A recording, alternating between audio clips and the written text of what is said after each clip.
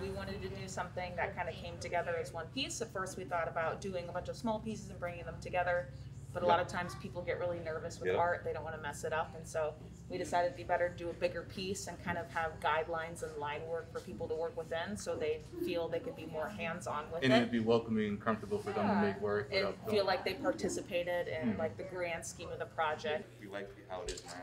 That's awesome. What were some of your ideas? We also have smaller, more independent works that people can participate in.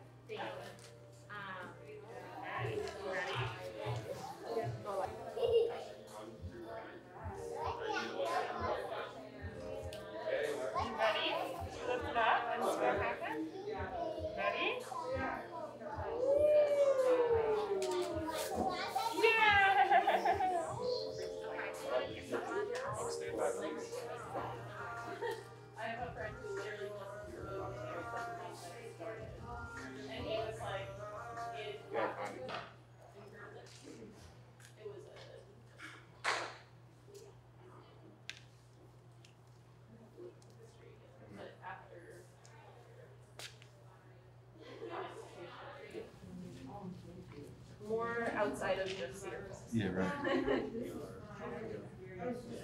Like, it would be great to have some of Elizabeth Cassett's Catlett? Catlett and her journey. Yeah. Well, it's been awesome working with Savannah. Yeah, We're a good team. And it was like the opportunity to like do something for the community, but also like some people are, you know, don't feel comfortable going to protests and stuff. But this is an opportunity to still do a protest and still do something that's positive for the community as well. One more time. One,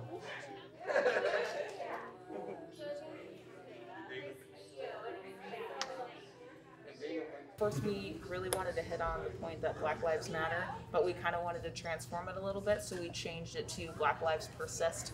Because at the end of it, we're looking towards the future. We're Yes. not we're not here dwelling on the past. We're trying to make a better future for the Black community, and so we kind of wanted to shine upon that. This way, when I so me and Donte will go through more. What are we gonna do now? We got money now. When's Black Lives Matter? You don't know how to function well. And rightfully, why would you? Yeah, that's really lovely. Smart though. She's making signs about wearing masks, like wearing your mask. Like, like, like Menards or something? Yeah. So a lot of times when um, you're here in Iowa, most people are always shocked because there are black people in Iowa. Yep. And we have, we're here and we're never going nowhere. Oh, that's cool. So this has been exciting and fun and great turnout too. Perfect. Is it yeah. Yeah. Hold on, this this one's just a little bit off Savannah. Sure.